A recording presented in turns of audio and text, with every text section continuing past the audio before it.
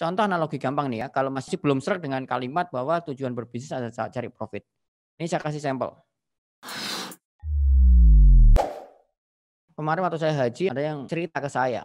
Dia cerita sekitar 20 tahun yang lalu pada saat orang tuanya meninggal masih meninggalkan hutang.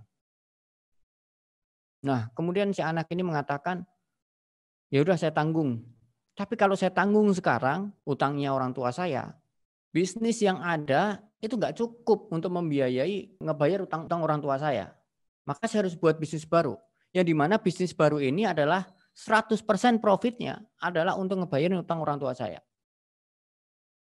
Pertanyaan saya nih, kalau bisnis kedua yang barusan dibuat tidak menguntungkan, Ditutup gak kira-kira ini teman-teman jawabannya? Saya yakin Anda semua sepakat menjawab kalau tidak ada untungnya ditutup. Walaupun ada manfaatnya. Betul kan? Kenapa? Ya karena clear. Kita berbisnis itu cari profit. Ya, jadi teman-teman bisa pahami ini bahwa clear kita sepakat kita berbisnis untuk cari profit.